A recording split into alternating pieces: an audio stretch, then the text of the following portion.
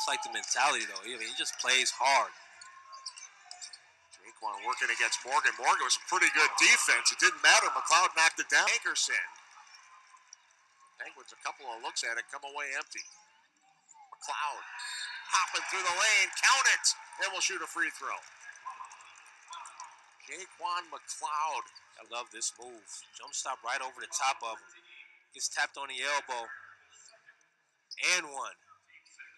Looks like he's going to play it solid, and they do get a quality look there. Again, work the corner, hit the high post, look opposite once it hits the high post. Wide open three, and McCloud makes him makes him pay.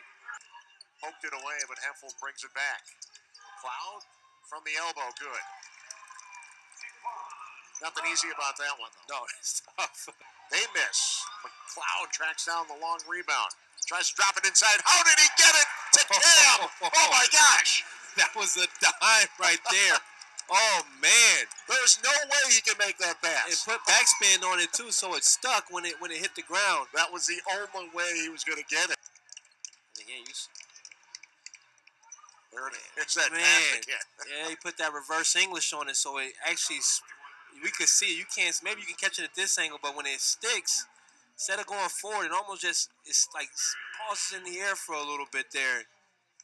Hankerson, I'm not sure he was Cam like saw it. he was like till it bounced and, and came up to him. Six consecutive game in double digits for the young fella. He's running the show tonight though. JayQuan McCloud. And there it is. Now, I just was, we were just talking about they had a chance to stretch some of those leads. Points in the game coming on the heels of a 21 point game against Oakland on Sunday. Here's McCloud all the way to the hoop and the finish. Quick timeout by Coach Darner. A nice right to left crossover. Hezo. Hesitation dribble. And Boris smacks too. You're not gonna smack glass. You're not gonna cross me over, hesitate me, and smack glass on me now. He just did it. Gosh, this is on borderline disrespectful. Reset the shot clock. That's big. McCloud knocks it down and gives Green Bay the lead 81 80. that's- 114 to play. And that's bigger. McCloud able to create that separation and rise up and get a clean look and put it in. And 10 seconds on the shot clock. Three point lead for the Phoenix. JayQuan McCloud is good. Five point lead.